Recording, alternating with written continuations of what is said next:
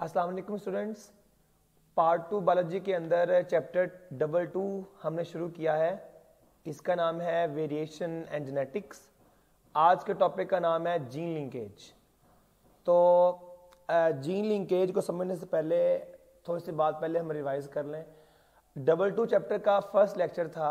वहाँ पर मैंने क्रोमोजोम ड्रॉ किया था, जो आपके टेक्स्ट बुक के अंदर डबल टू चैप्टर के फ़र्स्ट पेज पे डायग्राम ड्रॉ किया है, वहाँ पर क्रोमोजोम ड्रॉ है। क्रोमोजोम को अगर आप देखें तो वहाँ पर आपको दिख रहा है कि एक क्रोमोजोम बल्कि आप देख के मुझे बताएँ कि वो जो क्रोमोजोम है, क्या उसके अंदर एक जीन उन्होंने ड्रॉ किया है, या मैनी जीन्स हैं एक क्रोमोजोम के ऊपर?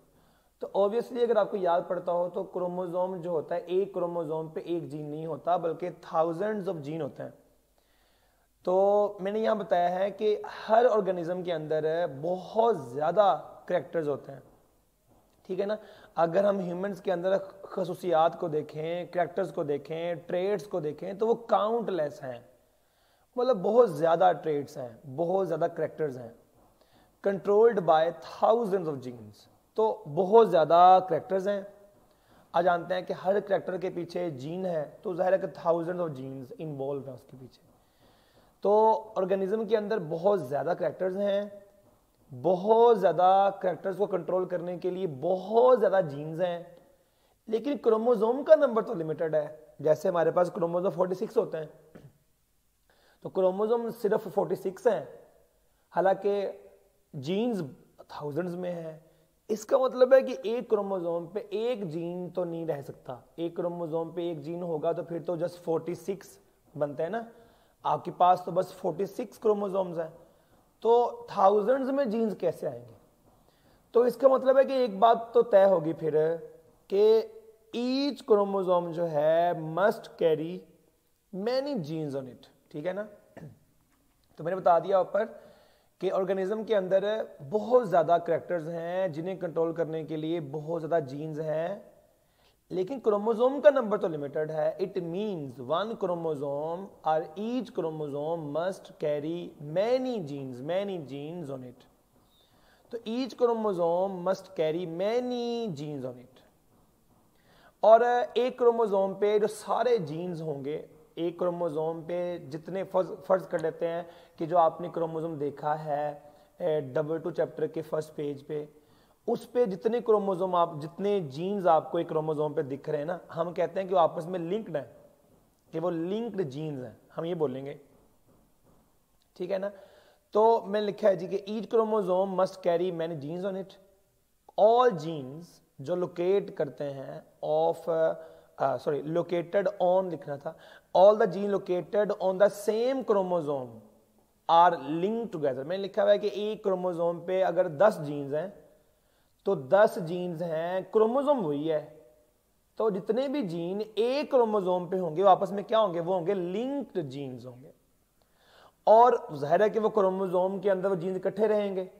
तो ये जो फिनोमिना है of staying together of all the genes of a chromosome तो एक क्रोमोजोम के ऊपर इन जीन्स का इकट्ठे रहना this is called gene linkage ठीक है?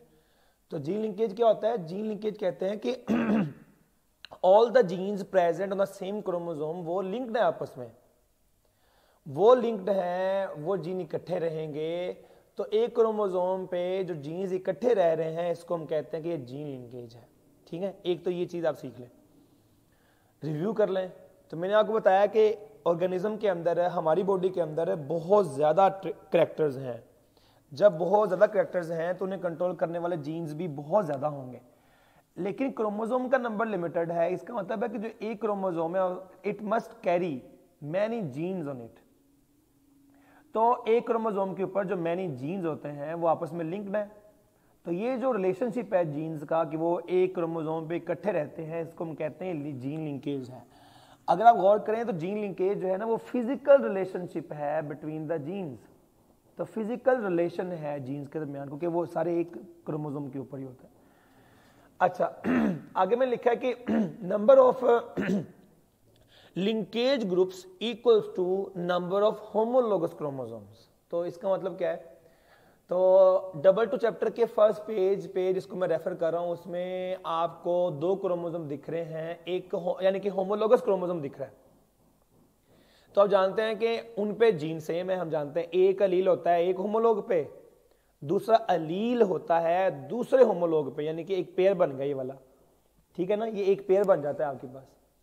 तो अगर आप देखें तो ये जो पेयर है क्रोमोजोम का, जिसके जीन सेम है आई I मीन mean जिसके अलील जिसके अलील तो हैं, लेकिन जीन पेयर उनके सेम है, जैसे आई वाला जीन दो टी हैं, या दो ए हैं, या दो बी हैं, इन्हें हम लिंकेज ग्रुप कह देते होते हैं। लिंकेज ग्रुप ठीक है ना? तो दो क्रोमोजोम जो है, उन, वो जो दो, वो जो होमोलोगस क्रोमोजोम है, उनको हम कहते हैं कि लिंकेज ग्रुप है। तो जितने आपके पास होमोलोगस पेयर हैं, तेईस आपके पास होमोलोगस पेयर हैं तो तेईस ही आपके पास क्या होंगे? लिंकेज ग्रुप होंगे। ठीक है ना?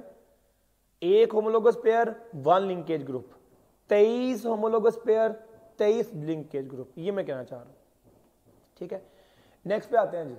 तो नेक्स्ट अगर हम देखें तो मैंने ना कुछ यहाँ पर लिंकेज ग्रुप ड्रॉ किए हैं। जैसे जीन फॉर कलर ब्राइटनेस ये टॉपिक आगे आएगा आपका। कलर ब्राइटनेस जैसे हम लोग थ्री मेन कलर्स होते हैं ना, आपके पास प्राइमरी कलर्स होते हैं थ्री आर रेड होता है ग्रीन होता है और ब्लू होता है। तो हम इन तीनों कलर्स को देख पाते हैं तो हम, ये नॉर्मल विजन है हमारा तो हम सारे कलर्स देख पाते हैं। तो उन्हें हम कहते हैं ट्राइक्रोमेटिक विजन कहते हैं। जो तीनों कलर्स देख पाएँगे, वो सारे कलर्स देख पाते हैं। इनको हम कहते हैं कि वो ट्राइक्रोमेटिक विजन होता है। कलर ब्राइटनेस के अंदर क्या होता है? या वो रेड देख नहीं पा रहे होते, या वो ग्रीन देख नहीं देख नहीं सकते, या ब्लू देख नहीं पाते। उन्हें हम कहते हैं कि वो कलर ब्लाइंड है। ठीक है?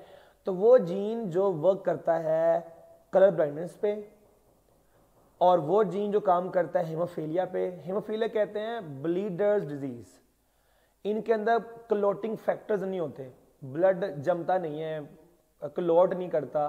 तो जब इनको कट लगता है या इनको वाउंड लगता है तो दे ब्लीड टू डेथ तो खून उनका क्लॉट नहीं होता तो डेथ हो सकती है अनीमिया की वजह से. आगे लिखा है मैंने गाउट अर्थसाइटस तो मैं कहना चाहता हूँ कि वो जीन जो इन्वॉल्व हैं फॉर कलर ब्राइटनेस और वो जीन जो इन्वॉल्व है हिमोफीलिया और वो जीन जो इन्वॉल्व है गाउट में, ये सारे जीन एक्स क्रोमोजोम पे देख लें आप। इसका मतलब है ये सारे जीन जो हैं वो सेम क्रोमोजोम पे हैं। क्योंकि सेम क्रोमोजोम पे हैं तो हम इन्हें बोलेंगे कि ये जो है वो लिंक्ड जीन्स हैं। अब आपको और भी वाजे हो गया होगा कि जीन लिंकेज से क्या मुराद है। तो ये जीन लिंकेज है कि ये जीन्स एक क्रोमोजोम पे है। एक और लिखा है मैंने gene for sickle cell anaemia जिसके अंदर हम जानते हैं कि हीमोग्लोबिन को आता है प्रॉब्लम और वो सफिशिएंट ऑक्सीजन कैरी नहीं कर पाती। Sickle cell anaemia gene for leukaemia abnormal white blood cells formation या एल्बिनिज्म जिसके अंदर स्किन बिल्कुल लाइट हो जाती है और स्किन के अंदर मेलानिन नहीं होता। तो अगर स्किन के अंदर मेलानिन नहीं होगा तो स्किन बिल्कुल लाइट से हो जाती है। तो ये तीनों जीन जो है वो बी क्रोमोजोम 11 के ऊपर है तो देख लें।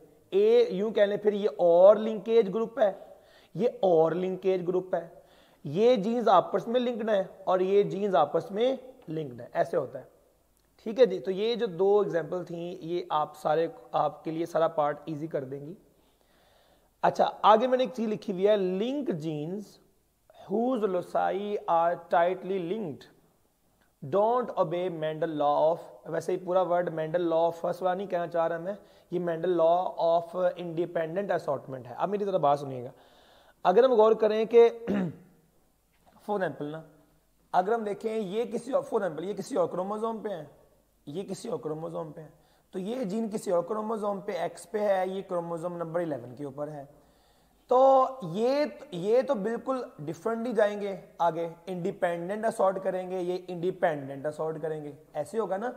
ये और क्रोमोजोम है, ये और क्रोमोजोम है। तो ये दोनों तो मेंडल के सेकंड लॉ को बे करेंगे। इंडिपेंडेंट असॉर्ट होंगे। अच्छा इन दोनों को देखें फॉर एग्ज़ाम्पल इन दोनों को देखें। अगर आप इन दो जीन्स को देखें, अगर आप देख रहे हैं दो जीन जो डिफरेंट क्रोमोजोम पे हैं। फॉर एग्ज़ाम्पल ये पहला जीन और ये पहला जीन ये जीन और क्रोमोजोम पे है ये जीन और क्रोमोजोम पे है तो ये तो इंडिपेंडेंटली असॉर्ट करेंगे गेमीट्स के अंदर ठीक है ना? अच्छा अगर आप देखें इस जीन को इस जीन को तो ये जीन तो एक क्रोमोजोम पे है। इसका मतलब पहले आप मुझे इस, इस चीज़ पे गौर करें। ये दोनों जीन्स ये दोनों जीन्स और ये दोनों जीन्स इन दोनों पेयर में से कौन से जीन पेयर है? जो इंडिपेंडेंट असॉर्ट करेगा और कौन सा है जो इंडिपेंडेंट असॉर्ट नहीं करेगा। तो ज़ाहिर है कि ये दो और क्रोमोजोम्स में है, ये और पे, ये और पे। तो इसको तो परवाह नहीं है, इसकी ना इसको परवाह है इसकी तो ये तो इंडिपेंडेंट असॉर्ट करेंगे। हाँ इस केस में क्या होगा?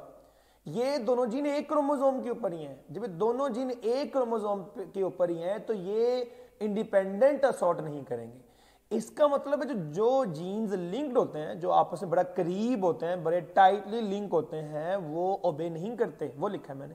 तो link genes whose loci are tightly linked don't obey Mendel's law of independent assortment ठीक है जी? ये आपका टॉपिक था, ये लॉन्ग क्वेश्चन भी है जीन लिंकेज का। होप्स तो आपके लिए काफ़ी हेल्पफुल रहा होगा। Wish you all the best अल्लाह हाफिज़।